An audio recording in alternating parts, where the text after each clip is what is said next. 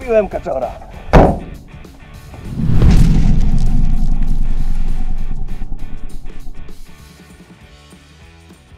Witam Państwa w tych pięknych okolicznościach przyrody, w środowisku naturalnym występowania kaczek. Tak, kupiłem kaczora.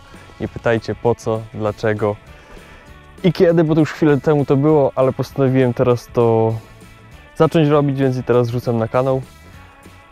E, staruszek, kaczor, kupiony za małą sumkę, bo jest w stanie niezbyt dobrym, ale o to mi chodziło, bo i tak go będę całego praktycznie modował. W tym momencie jest w zabudowie lawety. Jest to najazd stalowy, bardzo ciężki. Jego będę sprzedawał i będę robił swój najazd, bo docelowo chcę, żeby jako baza w tej kartce, jako baza to podkreślam, bo to nie będzie tylko jedyne, co będzie w tej kartce, jako baza e, będzie zabudowa lawety, tylko że ta zabudowa będzie aluminiowa. Najprawdopodobniej będę ją sam robił, jak wiadomo, do zobaczenia na kanale. Dlaczego w ogóle kupiłem tego kaczora? E, od dawna już miałem pewien pomysł, ale to za chwilę wszystko się wyjaśni. Ogólnie rzecz biorąc, kaczka nie miała łatwego życia. Można to zobaczyć po środku. No jest syf, kiła i mogiła. Wszystko łącznie z częściami, olejami, alternatorami. Brud w centymetrach można mierzyć.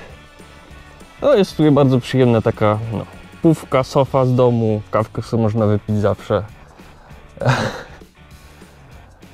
ale no wnętrze nie zachęca, ale mi to zupełnie nie przeszkadza, bo też całe wnętrze chcę zbudować sobie od podstaw e, według swojego pomysłu. No już jest to powoli young timer, nie? Więc silnik tu jest e, 2.9 bez turba, czyli ten klasyczny z tamtych lat w tych kaczkach. No nie do zajechania, jego się nie da po prostu zepsuć debiloodporny, wszystko odporny, miliony kilometrów potrafi zrobić i zrobi, ale nie w tej kartce, bo mam zamiar wsadzić tutaj 2.9 również, tylko że na turby ze Sprintera razem z mostem ze Sprintera, żeby ta kaczka bardziej jechała niż się toczyła. Teraz się jeździ spoko, ale no brakuje trochę tej mocy i prędkości maksymalnej to przede wszystkim. Chcąc gdzieś dalej pojechać, to e, no to, to, to jest ciężko. No i wiadomo, jak to Mercedes z tamtych lat, blacharka jest do roboty, ale w sumie mi to też nie przeszkadza, bo chciałem taką drobną blacharkę sobie spróbować zrobić kiedyś, na czymś się nauczyć, a kaczka według mnie jest bardzo dobrym materiałem do nauki. Tu się mało da zepsuć i są bardzo proste te blachy, nieskomplikowane, więc i tanie bardzo są elementy blacharskie, więc myślę, że na tym się będzie można spoko doszkolić, że tak się wyrażę. Będę go całego kiedyś malował, ale to już po zrobieniu modów, po zrobieniu ramy, po zrobieniu zabudowy.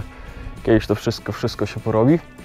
No i teraz clue tego całego projektu, czyli na tej platformie e, lawety, będę chciał zrobić taki wielki kontener 5 metrów na 2 metry razem z kurnikiem e, nad dachem i w tym kontenerze zrobić kampera. I z tego kampera chciałbym zrobić projekt, powiedzmy, nazwijmy to społeczny, trochę takim PRL-em zaleciało, no ale trudno. E, żeby każdy mógł sobie wypożyczyć tą kaczkę, pierdolnąć to wszystko i wyjechać w Bieszczady. Zaletą tego samochodu jest to, że jest sześcioosobowy, więc z dobrą ekipą już można pojechać. I myślałem też o tym, żeby, żeby, żeby założyć projekt na zrzut, żeby już zawczasu ludzie mogli tak jakby wypożyczyć e, tą kaczkę. Ja bym miał kasę, żeby to szybciej skończyć. Na pewno by to szybciej poszło niż, niż bym miał sam to wszystko ciułać. A tym samym ci, którzy pomogli na tej zrzutce, będą mogli z tej kaczuchy skorzystać sobie jako pierwsi, wynająć ją i jechać gdzie tam tylko dusza zapragnie. Jeszcze wracając do tego, co chcę tu zrobić, chciałbym e, nie modyfikować jej za mocno. Znaczy, nie, inaczej. Chciałbym właśnie modyfikować mocno, ale z zachowaniem tego sznytu dawnych lat, tej surowości stylu, tych prostych linii, e, żadnych kwiatków tutaj nie chcę robić, tylko po prostu e, przystosować ją bardziej do życia codziennego i do takiej używalności, bo no, rozwiązania tutaj niektóre są takie dosyć mocno toporne. Cała ta buda, najazd i zabudowa ta tylna będzie w stylu e, tych dawnych lat, ale jednak z takim nowoczesnym pomysłem, że tak to ujmę. Spróbuję niedługo zrobić jakieś projekty graficzne, żeby Wam przedstawić tą moją wizję, bo tak palcem w powietrzu to ciężko jest e, ująć to, co mam na myśli. Projekty na pewno będzie można zobaczyć na Facebooku Polish Dragon, gdzie już teraz Was zapraszam. E, tam zawsze są najświeższe informacje.